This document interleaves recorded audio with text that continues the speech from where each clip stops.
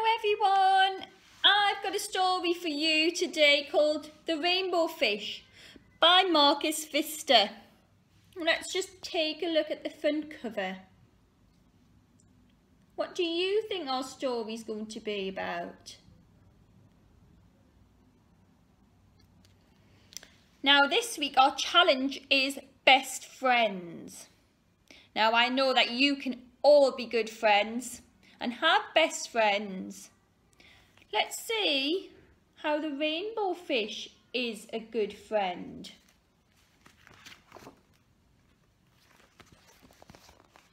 A long way out in the deep blue sea there lived a fish. Not just an ordinary fish, but the most beautiful fish in the entire ocean. His scales were every shade of blue and green and purple with sparkly silver scales among them. He is. What a beautiful fish. The other fish were amazed at his beauty. They called him Rainbow Fish. Come on, Rainbow Fish, they would call. Come on, come and play with us. But the Rainbow Fish would just glide past proud and silent, letting his scales shimmer. He didn't want to play. One day, a little blue fish followed after him. Rainbow fish, he called, wait for me. Please give me one of your shiny scales. They are so wonderful. And you have so many. The little blue fish wants just one of Rainbow Fish's shiny, shimmering scales. You want me to give you one of my special scales? Who do you think you are? cried the Rainbow Fish. Get away from me! Shocked, the little blue fish swam away.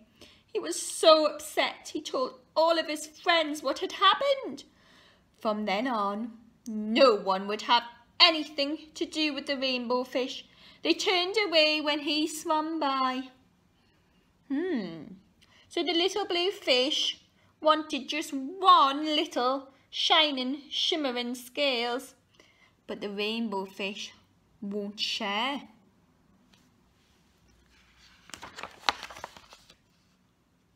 What good were the dazzling, shimmering scales with no one to admire them? The rainbow fish had no friends because he couldn't share. He wasn't a kind friend. And now he was the loneliest fish in the entire ocean. One day he poured out his troubles to the starfish. I really am beautiful. Why doesn't anybody like me? I can't answer that for you, said the starfish. But if you go beyond the coral reef to a deep cave, you will find the wise octopus. Maybe she can help you. There's the starfish. The rainbow fish found the cave. It was very dark inside and he couldn't see anything. Then suddenly two eyes caught him in their glare and the octopus emerged from the darkness. Ooh. I've been waiting for you, said the octopus with a deep voice. The waves have told me your story, and this is my advice. Give a glittering scale to each of the other fish. You will no longer be the most beautiful fish in the sea, but you will discover to be happy. Ooh, so the octopus wants rainbow fish to give all of the other fish one shining, shimmering scale. He wants the rainbow fish to share his beauty, to share his scales. I can't, the rainbow fish started to say, but the octopus had already disappeared into the dark cloud of ink. Give away all my scales, my beautiful shiny scales, never. How could I ever be happy without them? Do you think he would be happy if he shared his scales? Let's see. Suddenly he felt the light touch of a fin. The little blue fish was back. Rainbow fish, please, don't be angry. I just want one little scale. And the rainbow fish wavered. Only one very, very, very small shimmery scale. He thought, hmm, well, maybe, maybe just one. What do you think? Should he give the little blue fish just one? One little shining, shimmering scale.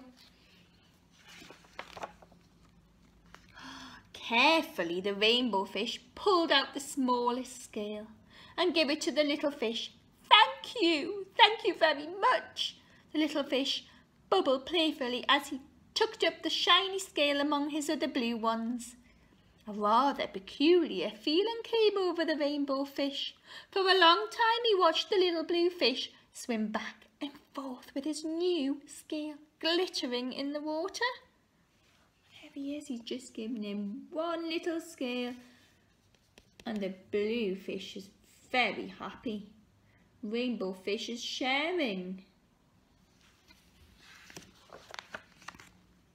The little blue fish whizzed through the ocean with his scale flashing. So it didn't take long before the rainbow fish was surrounded by the other fish.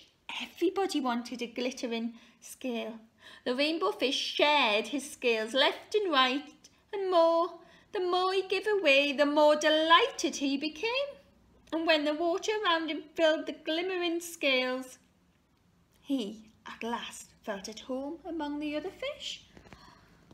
Oh, look, he's getting less and less, but they're all getting one lovely glittering scale. He's sharing them out. Finally, the rainbow fish had only one shining, shimmering scale left. His most prized possessions had been given away, yet he was very happy. Come on, rainbow fish, they called. Come, come on, come and play with me. Here I come, said the rainbow fish, and happy as a splash, he swam off to join his friends.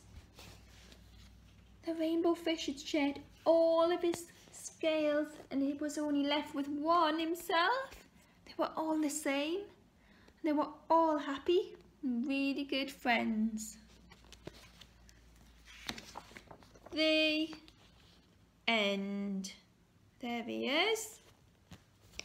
So the rainbow fish at first wouldn't share. He wouldn't share his lovely scales and all of the other fish were a little bit jealous. They really, really wanted just one. Not all of them, just one each.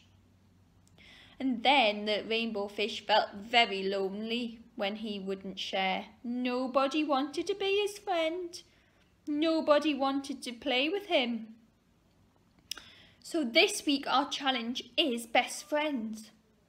And from our story, I would like you to think about something that you really, really love and share it with a friend or a family member. Could you share one of your favourite toys? Or maybe some sweets? Could you make some cakes and share them? I'm really looking forward to seeing what you share and see some photos or videos. But for now, bye!